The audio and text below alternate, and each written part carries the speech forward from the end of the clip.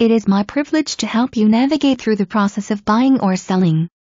Think of me as a safe haven in stormy seas, your beacon to guide you along the shores of Lake Erie and its unique possibilities. No matter your preference, I can help. Remodeled Ranch in Holiday Harbor. Edition 2009, Pole Barn 2010.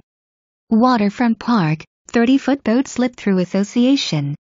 Newer flooring, paint, exterior patios, granite, cabinets, updated bath, appliances. Family room has wood burner, access to back patio and fully fenced backyard.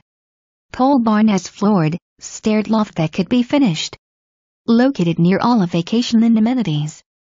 Boat slip on east.